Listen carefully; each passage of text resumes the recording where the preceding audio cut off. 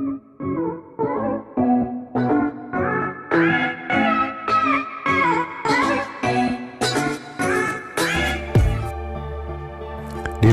dari rmol.id, TKN tak masalah aksi masa 22 Mei karena ada TNI Polri yang siap amankan.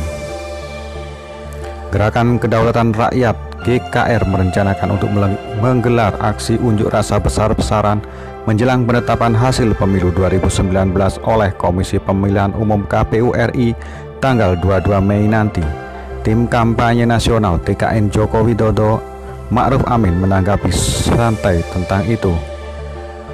Juru bicara kampanye nasional TKN Joko Widodo Kiai Haji Ma'ruf Amin, Ruhut Setompul mengaku tak terlalu khawatir dengan adanya people power atau yang kini diganti namanya menjadi gerakan kedaulatan rakyat itu.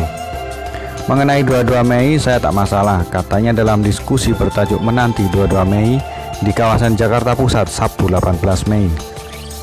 Meskipun demikian, Ruh mengimbau semua pihak yang ingin menggelar aksi untuk tetap damai dan tertib, sebab jika tidak mereka akan berhadapan dengan kekuatan TNI Polri. Karena kita sudah punya TNI dan Polri, di mana Panglima TNI tegas bersama tiga kepala staf yang menyatakan kesiapan mengamankan apabila ada yang coba-coba pungkasnya.